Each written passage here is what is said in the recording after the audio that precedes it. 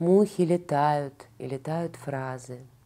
Вечер раздвигается, но не весь сразу. Брат улыбается, тихо помидор ест, а сестра качается, а в сестре задор есть. И поет сестра песенку неведомую русскую, очень несчастливую, то широкую, то узкую.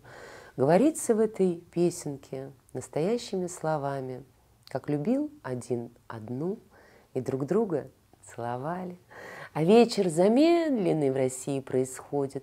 Брат поднимается, через дверь выходит, а сестра растрогана своим собственным пением.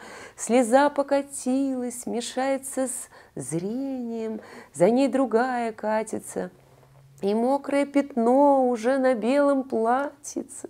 Да это все равно, ведь никто и не любит-то. И городок маленький, а книжки все печальные. И в октябре валенки.